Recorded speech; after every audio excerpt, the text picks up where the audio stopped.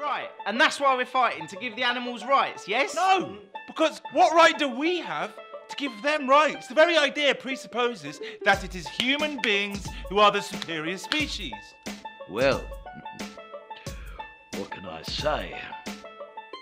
Country coppers like myself are well versed in the dark, bucolic underbelly of the church fete, and the homely bonhomie that masks the seething cauldron of English village life. But this,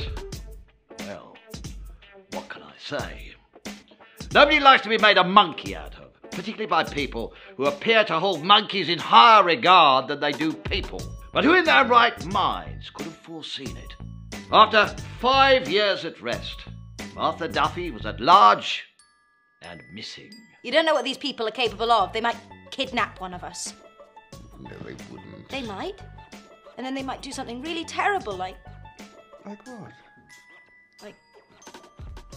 Like like bury us alive. So where did you put it? What? Her. Who? The bones. Them? Yes. In the woods. in the woods where everyone's walking their dogs. No one saw me. They better not, else you'll have to dig her up again. Oh, no, no, no, no, no. I buried her. If she's moving again, you're doing it. I'm not doing it. I'm the leader.